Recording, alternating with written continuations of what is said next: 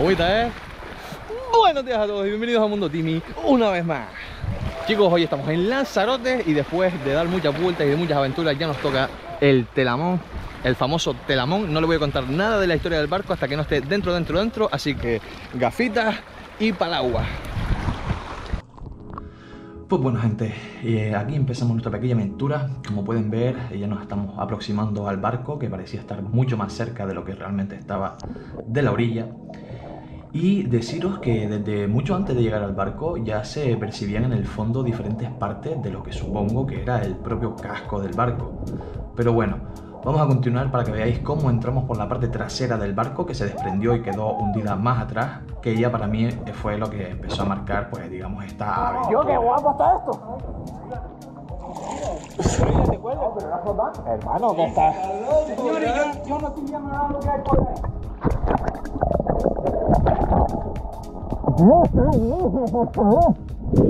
¡Qué guapo está, hermano! Tranquilo que no vas a tocarla por debajo.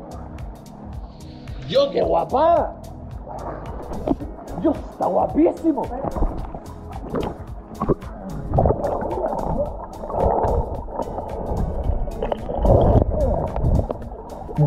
Por debajo está muy, muy guapo. Te lo digo. Muy guapo. Bueno chicos, como pueden ver, la entrada al barco no era para nada sencilla, de hecho era bastante complicada, sobre todo para mí que tengo falta de vista. Y a pesar de que mis gafas de bucear están graduadas, pues no, digamos que no cumplen una función tan buena como unas gafas de vista normales, pero bueno. Aún así, me até una manta a la cabeza y subí como pude, porque sin duda era el más motivado de entre todos los que estábamos en esta aventura. Yo llevaba mucho tiempo queriendo visitar este barco. Gente, no vengan nunca aquí, no se lo recomiendo a nadie. Peligro extremo. Pero, uh.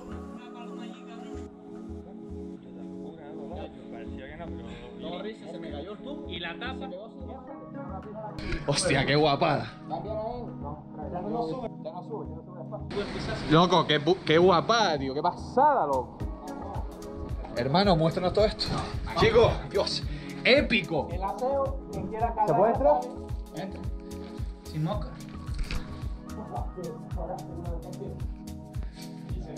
Yo, da la sensación como de que se mueve y todo. Hostia, qué guapo. Imagínate, estás viendo uno antes tú y se cae. Pasarela. Gente, acostúmbrense a verme así porque no me puedo quitar la gafa porque están graduadas. Y sin gafas no veo nada. Pero, loco. Yo, esto para mí es un sueño. Es- yo llevo un montón de tiempo queriendo venir aquí. A ver, Joselillo. ¿Qué te parece? Una locura. ¡Qué guapada, loco! Dios, y la piscina está justo aquí en medio. Hostia, qué épico. Qué épico, por favor, qué épico, tío. Yo estoy flipando fleje, hermano, estoy flipando demasiado. Vale, aquí tenemos las escaleras al infierno. Vemos que está todo lleno de cagadas de palomas. Pero normal, estoy yo aquí 41 años, chicos. No, 40 años justo. Ya les iré dejando información por ahí y hablaremos después un poco, pero bueno, el barco este cayó aquí, en las costas de Recife, en 1981. Bro, esto está muy épico. Esto está muy épico. Esto está muy guapo. Está muy guapo.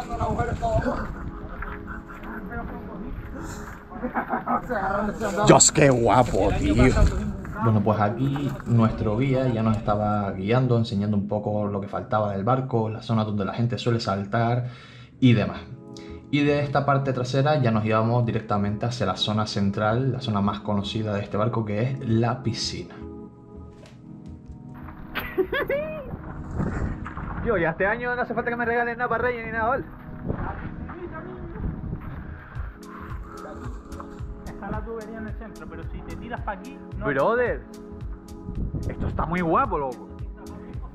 Esto está muy guapo, loco. Esta zona que me produce tanta fascinación no es más que una de las dos bodegas con las que cuenta este barco. De hecho, por esta bodega fue por donde, eh, desgraciadamente, el Telamón, o también conocido como Temple Hall, se hundió. Dado que su carga pues generó unas erosiones en el casco, unos agujeros por los que empezó a entrar agua, inundándose esta bodega y al final obligando al capitán del barco a llevarlo hasta esta pequeña cala para allí poder embarrancarlo y así salvar a la tripulación. Dios, loco. ¿Vas a saltar ahí arriba, brother? Espérate, espérate, espérate, espérate. ¡Uh! Me sabe, loco. ¡Vamos!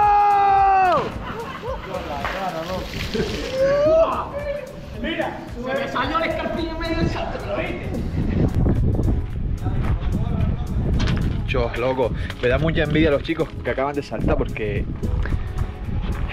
tener gafas es un poco una maldición, un poco mi maldición. Por aquí, hostia. Creo que se ve perfectamente, ¿no? Todo lo que hay aquí, todo el casco del barco, todo hecho rot, destrozado, arena. Madre mía.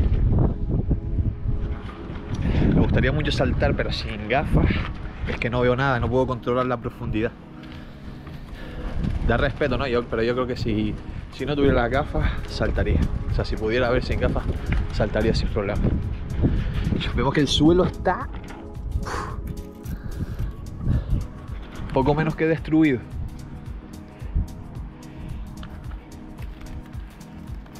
Hostia, qué guapo está esto, tío.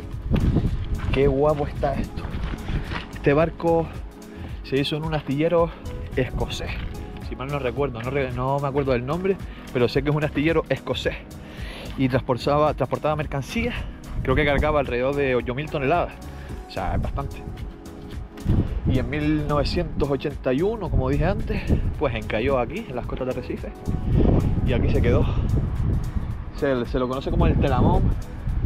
Pero que las vistas nada más también. Madre mía. Madre mía. Épico, este sitio me parece épico del todo.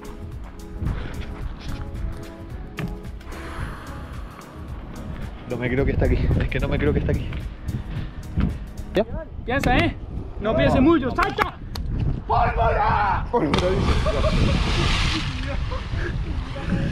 Yo está el volada, hermano.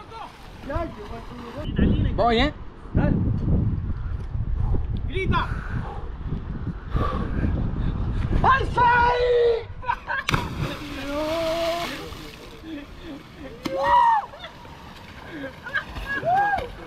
Cuando la toques verás que te puedes fiar de ella perfectamente. De la- las líneas. Gracias. ¿Pero hay que pasar por ahí? No, no, te vas. Pero estaría guapísimo pasar por aquí, loco. Al agua.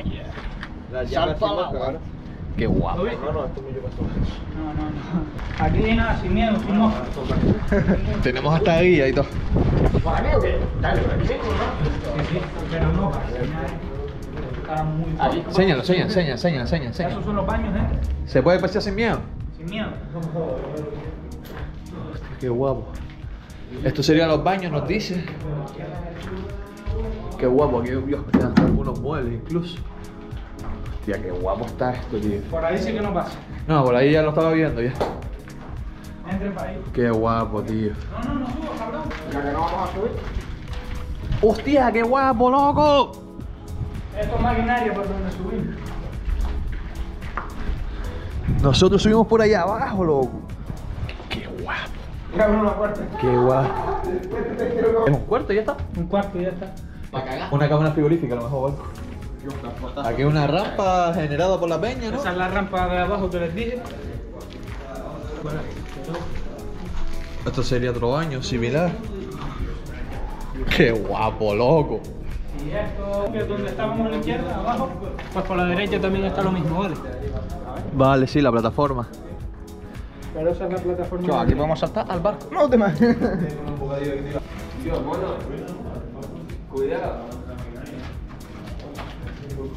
Mira, sube, uno agarra aquí y sube mucho más padre, ¿vale? Pon el pie. Vamos.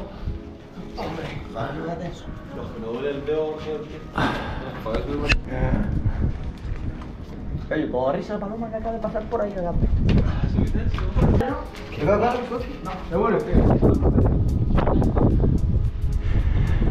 Aquí estaban los botes salvavidas, loco. Ernesto. Yo, todo, todo risa. Y con esto lo subían lo bajaban, ¿no? Un motorcillo seguramente.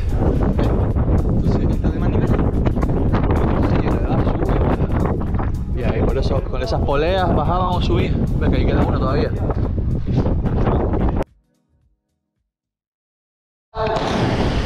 Yo, si no era nada, cabrón.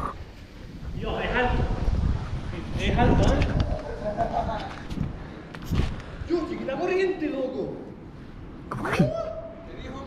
Chiquita corriente.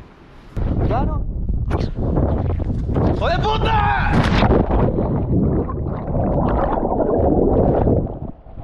¡Yo se sale, loco!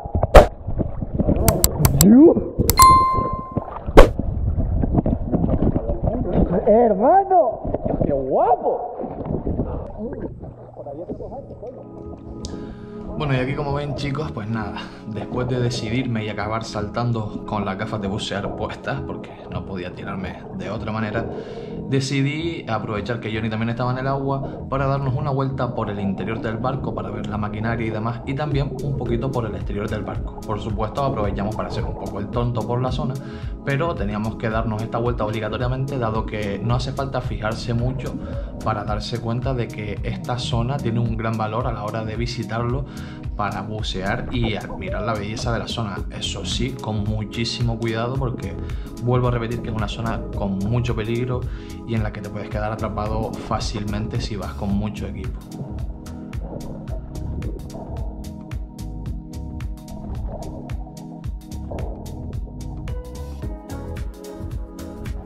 Peña, eh, yo de la, creo que es la mejor aventura que he tenido en el canal, pero vamos, sin ninguna duda. Allí, eso que asoma por allí, es un trozo de la parte trasera del barco, que cuando cayó con el tiempo se partió y ahí se quedó. Pero hay bastante marea, así que no creo que nos acerquemos porque hay un tramito de aquí a allá, buchito, y el agua nos puede llevar. Así que vamos a investigar un poco por aquí adentro. Podemos ver los motores, las maquinarias y demás. La verdad es que el sitio está de locos, de locos. Pero una vez más, no recomiendo, no recomiendo a nadie que venga nunca bajo ningún concepto.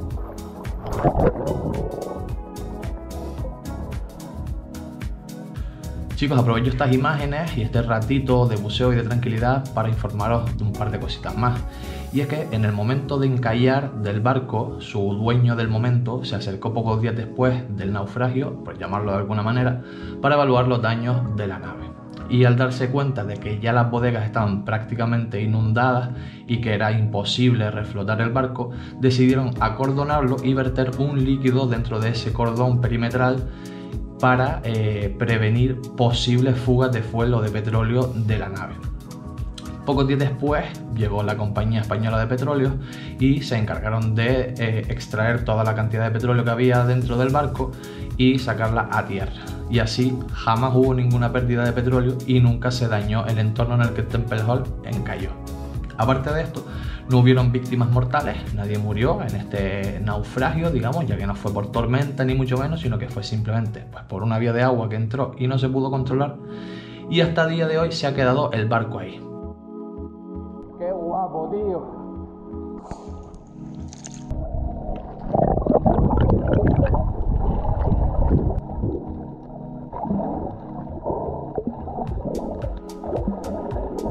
Como dato un poco extraño de este barco y de su historia, os diré que durante un tiempo el barco estuvo ocupado, o sea, hubo gente viviendo en el interior del barco ya encallado. No sé si salían y entraban nadando o con una pequeña embarcación, pero es verídico que hubo gente viviendo en su interior durante un tiempo.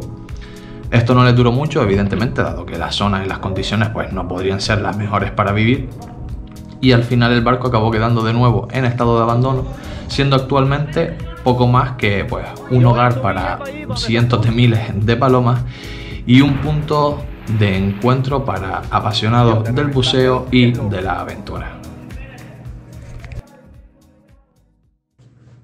Pues nada, gente, este ha sido el pequeño vídeo de Lanzarote. La verdad es que me ha gustado muchísimo, he disfrutado como un enano desde aquí darle las gracias a todos los chicos, a José, Llano, a Johnny, a Octavio, a Felipe, a todos los que fueron conmigo para allá. Eh, me lo pasé, de verdad, me lo pasé muy muy bien, disfruté mucho de ello, me gustaría poder haber grabado mejor, pero es que estaba más pendiente de disfrutar y de mirarlo todo y de nutrirme que de grabar el vídeo. Esto ha sido lo que ha sido. Sé que llevo varias semanas sin subir vídeos, gente, pero eh, he empezado a trabajar hace muy poquito y no tengo tiempo para nada. Trabajo a turno partido todos los días y es bastante limitador en cuanto al tiempo, pero como pueden ver no voy a parar, voy a seguir subiendo vídeos cada vez que pueda.